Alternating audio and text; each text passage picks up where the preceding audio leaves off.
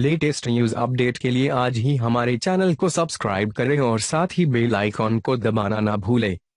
नमस्कार बीबी न्यूज़ में आपका स्वागत है। लंदन के जाने माने और ऐतिहासिक थिएटर स्ट्रिप क्लब विंडमिल को अब बंद कर दिया गया।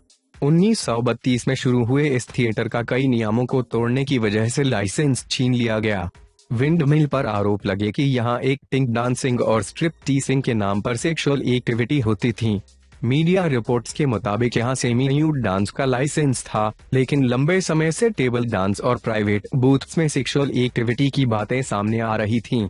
बताया गया कि यहाँ मॉडल्स पर एक दूसरे से और यहाँ आने वाले दर्शकों से फ़िज़िकल होने का दबाव भी बनाया जाता था रिपोर्ट्स के मुताबिक लंदन की एक वुमन सेफ्टी कमेटी ने सबसे पहले ये मुद्दा उठाया था, जिसमें उन्होंने बताया कि इस क्लब ने अपनी सारी हदें पार कर दी हैं यहाँ लड़कियाँ न्यूड होकर खुद को टच करती हैं और इन्हें सेक्सुअल एक्टिविटी के लिए फोर्स किया जाता है।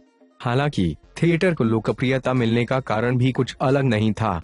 1932 में न्यूड शोज़ की वजह से यहाँ जमकर भीड़ लगती थी। इस थिएटर की लोकप्रियता का अंदाज़ा इसी बात से लगाया जा सकता है कि दूसरे विश्व युद्ध के दौरान भी ये बंद नहीं हुआ।